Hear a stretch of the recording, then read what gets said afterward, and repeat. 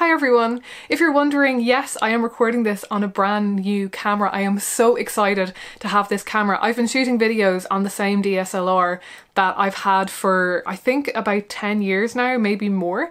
And um, it's it's served me really, really well. But honestly, this upgrade, even just the fact that I can actually turn around the monitor and see myself, it just makes setting up for videos so much easier.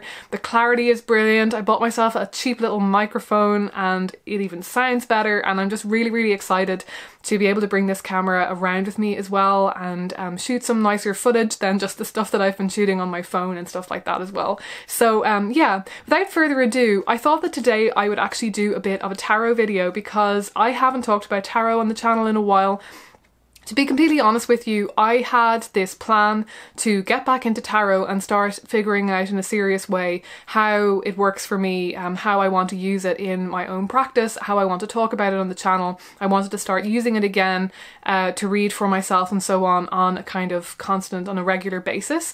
And that has not happened. I just really haven't had time because I've been moving back here and just trying to deal with a lot of different stuff that has come my way since coming back here. It just feels like it's one one thing after another, which is often the way when big things are happening. Uh, so, but yeah, I, I kind of just wanted to ease myself back in and dip my toe back into the water um, by making a quick video. And what I thought I would do for this video today is just draw a couple of cards. I've drawn three cards at random and I had a theme in mind uh, before drawing these cards. So it's a little bit like what I might do if I was going to draw some tarot cards to journal about for myself. And that's kind of roughly what I'm going to be doing. I'm going to be kind of connecting these cards to my current situation and uh, kind of themes that are relevant to me right now. But I am going to try and focus on um, making this relevant for you as well so that I'm kind of offering you an idea of how I might work with these cards uh, to deal with the current um, life situation that I'm in um, so that it might give you ideas as to how you might use the cards to read for yourself um, especially if you are in a situation like I am in right now. And that situation is transformation change um, going through kind of big changes big um, lifestyle lifetime changes and um, especially feeling a bit uh, confused and maybe scared about uh, the way forward, uh, particularly with regards to uh, my career and uh, just finishing the PhD and just like what my life is going to look like uh, over the next few years. Um, it, it, feels like very kind of a big uh, big questions are arising now because I'm kind of um, moving back to this place where the rest of my life is supposed to be kind of happening. So there are a lot of big questions and big fears coming up for me. So it feels like a transition that is, you know, not just a moving of place, but also a huge transition in terms of moving into um, a new stage in my life. So if you're going through any kind of transitions or changes like that, um, this might be uh, relevant or helpful to you as well. So the first card that I drew was the Empress and I'm really happy to have drawn this card uh, for this theme because it's not a card that I would actually normally associate with tra transformation and big life changes but I feel like it's a really positive affirmational card um, especially in this context. Uh, because the Empress, I associate the Empress with uh, creativity and um, with really being able to mine your own depths and um, really reach into yourself and be very kind of self-nurturing but in a very active way. There is kind of a sense that the empress um, not so much that she's calling you to not like a knight or um, one of the very kind of um, outwardly active cards. Um, I would say that the Empress is more of kind of an inwardly active card, uh, that she's kind of calling you to um, find a stability in yourself and kind of find the core of yourself in this moment in time, um, but to be proactive and to be creative with that. So not to let yourself fall into stagnation, but to kind of um, take the the situation at hand and take the resources that you have. In particular I would I would feel the kind of inner resources that you have and um, use this time and the place that you're in and the things that you have within uh, to start creating something new and to start making the most of the fact that this is um, a new time in your life that this is a time for freshness and new starts and that you can absolutely take the opportunity to change things really radically and really drastically uh, in your inner life in your outer life and to start kind of maybe balancing the two. I definitely see the Empress as being um, very much uh, attuned uh, from her inner, inner self to her outer world, that she is in harmony um, with the life around her, that she is able to kind of channel uh, the outer world uh, on the inside and kind of channel the kind of uh, creativity and life around her uh, into her inner world, and then likewise channel that inner creativity and inner vitality into um, her kind of mundane life around her. And of course, the Empress is associated with motherhood and um, fertility and pregnancy. And I definitely feel at this point in my life and when I'm going through this kind of big outward change and uh, kind of the reflected inner change and that I am at a point where I can either kind of choose to feel out of control and uh, feel as though things are kind of being imposed on me or choose to see this as a time of pregnancy, as a time um, where things are in gestation, uh, whether that's in my outer world or my inner world and um, that I can kind of choose to uh, kind of accept that there's a certain element of pause and waiting.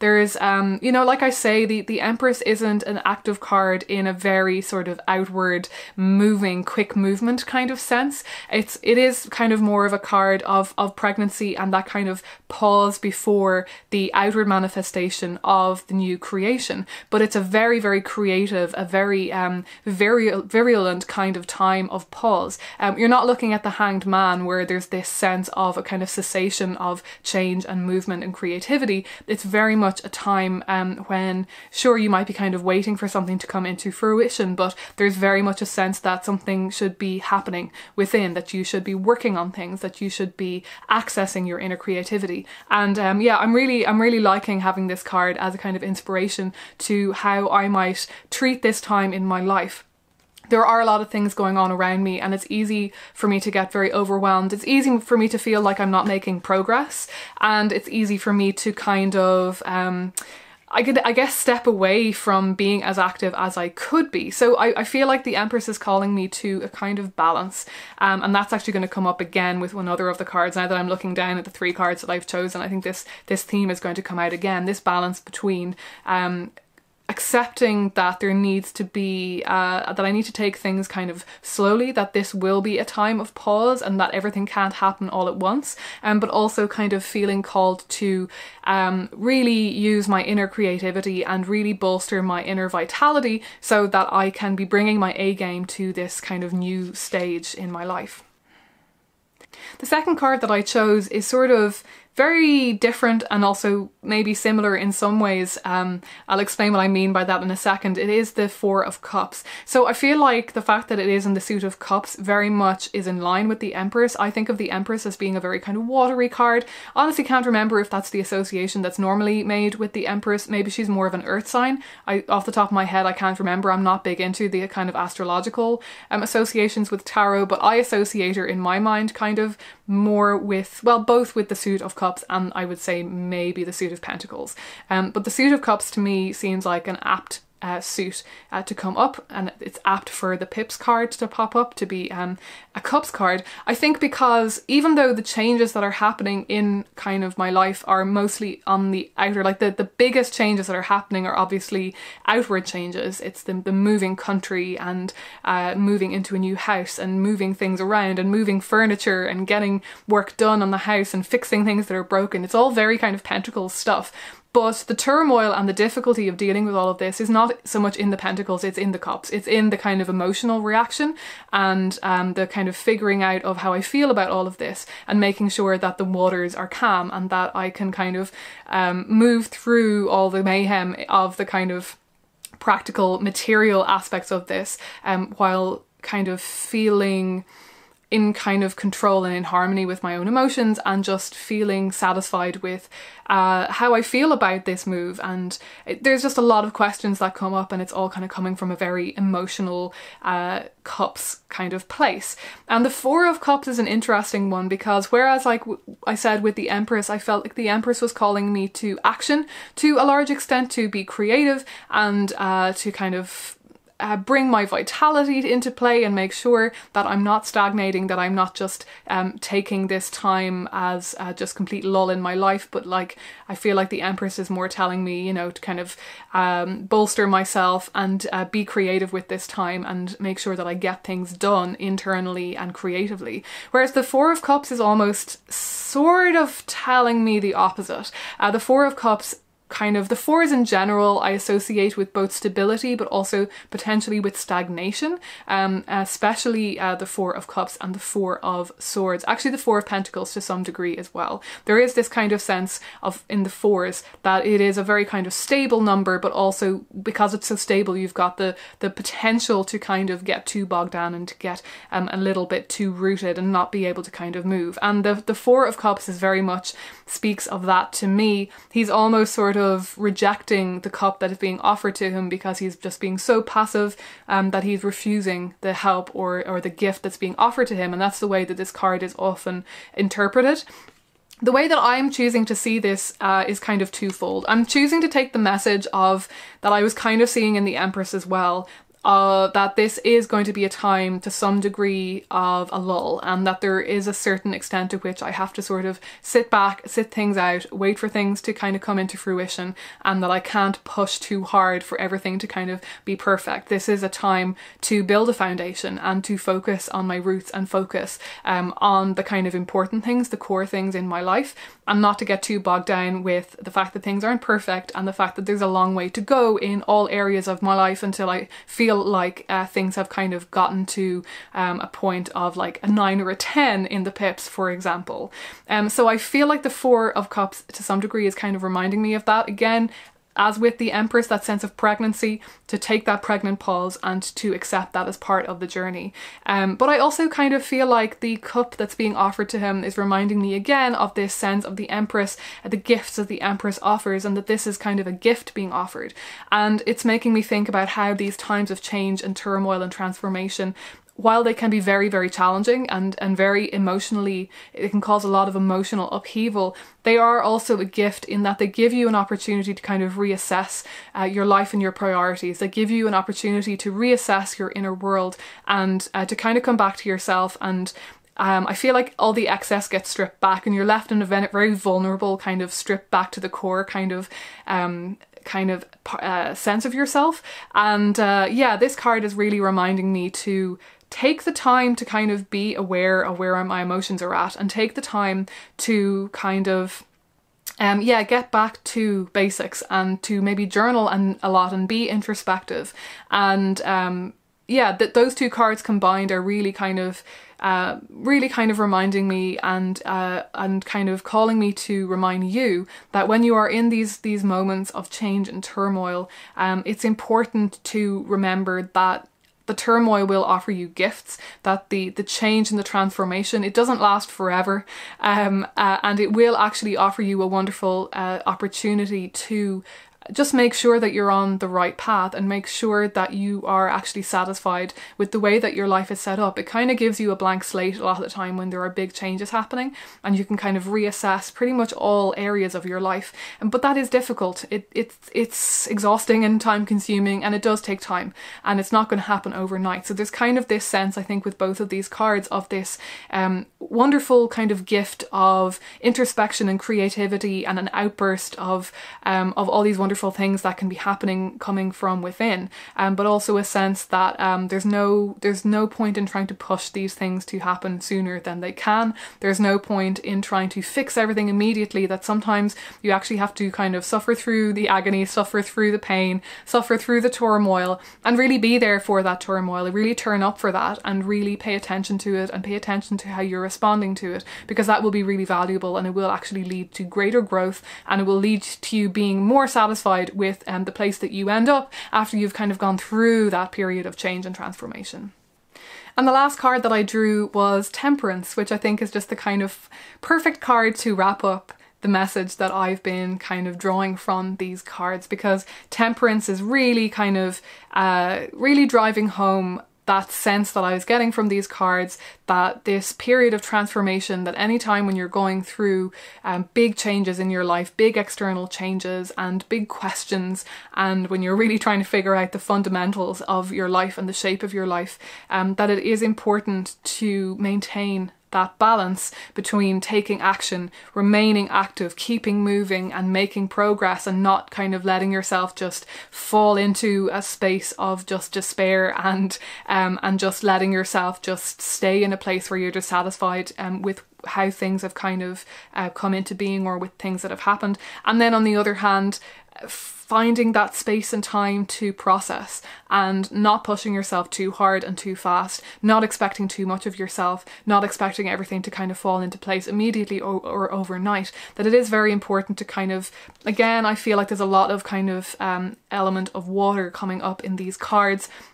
There's very much this call to process the emotional side of change and um, even when you're really wrapped up in the pragmatic things like you would not believe the lists the to-do list that I have. I have, um, I use a, a to-do list app and it has kind of projects in it. So all my to-do lists are kind of, um, they're, they're kind of within, there's like to-do lists within to-do lists essentially. And I have a whole section called house, which is all the things that need to be done to the house. And this is on a very like, uh, this is on a very immediate basis. Like there's a lot of other much more fundamental work that will need to be done down the line. But even the kind of work that needs to be done within the next six months on this house like the the list almost feels infinite. Like the, i haven't even written everything down into it and it just keeps going and going and going. And i think yeah when you are in this phase of whether you're moving house or changing jobs or moving cities or changing anything major in your life, even if, if a relationship is coming to an end or anything like that, it can mean very big kind of fundamental changes to your day-to-day -day life.